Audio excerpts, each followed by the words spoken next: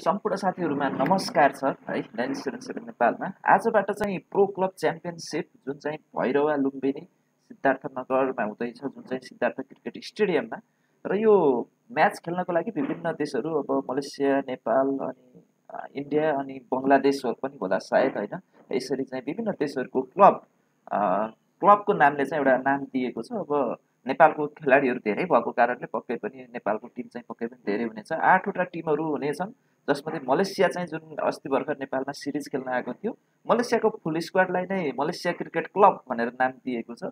है मतलब उनीहरूको चाहिँ होल स्क्वाड अलिकति टुर्नामेन्टमा अलिकति जित्न सक्ने सम्भावना पनि मलेसियाको चाहिँ मैले कता कता देख्दैछु र सेन वानको जुन अस्ति असामयिक निधन भयो है मार्च फोरमा यो एक महिना अघि लगभग उनको निधन भयो।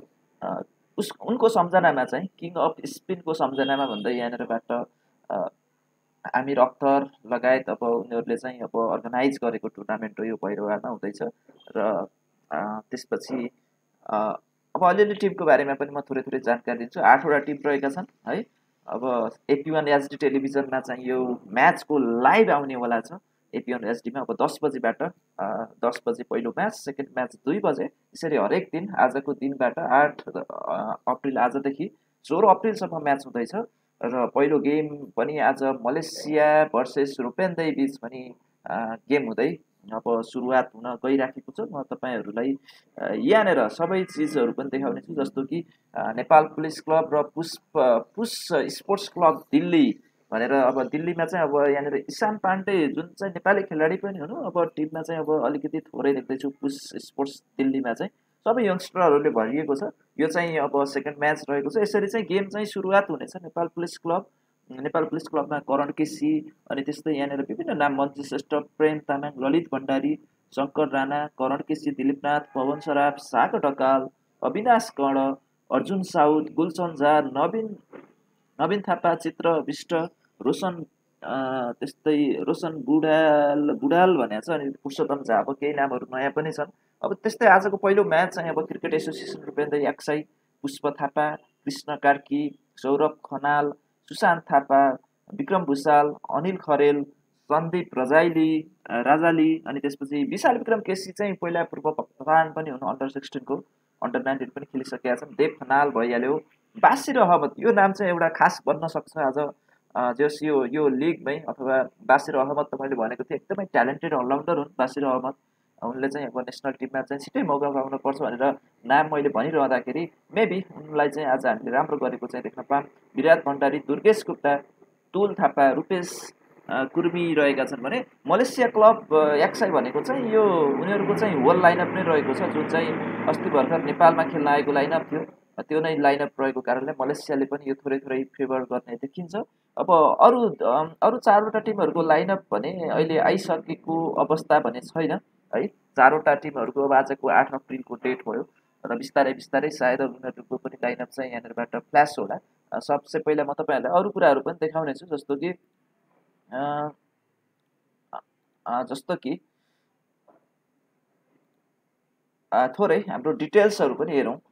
डिटेल्स हेर्ने हो भने चाहिँ अब आज चाहिँ अब मलेसियाले चाहिँ ब्याट रोजिसकेका छ। मलेसिया एक्साईको टिम चाहिँ अलिकति स्ट्रङ होला। त्यसपछि एनपिसी भर्सेस पिएसटीको आजको सेकेन्ड म्याच रहेको छ र मलेसिया र रुपेन्दै बिचको यो उसमा चाहिँ मैले यङ्स्टरहरू नेपाली खेलाडीहरू जो चाहिँ अलिकति राम्रो खेलि अब खेल्न सक्ने सम्भावना हुन्छ उनीहरूको बारेमा थोरै म चाहिँ निगरानी गर्नेछु। एपी वान एचडीमा लाइभ हुनेछ। एन्ड्रु लियोनार्ड हुनेछन् कमेन्ट्रीमा।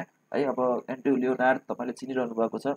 उनी चाहिँ कमेन्ट्रीमा चाहिँ हुनेछन् आजको यो म्याचको अथवा यो होल नेपाल प्रो क्लब च्याम्पियनसिपको। अब यहाँनिरबाट प्लेइङ इलेभेनहरूको कुरा गर्ने भने अरूको अरू टिमहरूको त यहाँनिर लगभग लगभग बाह्रजना यो रिलिज भइसकेको छ तर अलिकति पछाडि पछाडिपट्टि भएको जस्तो भोलिको म्याचहरूको दुईवटा दुईवटा म्याच भोलिको म्याचको कुरा गर्ने हो भने चाहिँ यसरी जस्तो यहाँनिरबाट अरू खेलाडीहरूको नाम चाहिँ यहाँनिर यस पेन क्रिकेटमा अपडेट आएको छैन।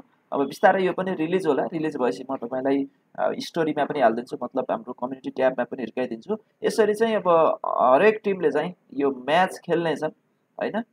र पक्कै पनि ट्वेन्टी ओभर्स पर साइड हुनेछ यो यो टुर्नामेन्ट र यसरी चाहिँ अब राउन्ड रोबिन लेको अनुसार अब टप टिमहरू चाहिँ अब त्यसपछि फाइनल पनि खेल्छन् होला। जस्तो म तपाईँलाई फिक्सरको बारेमा थोरै जानकारी गराइदिन्छु।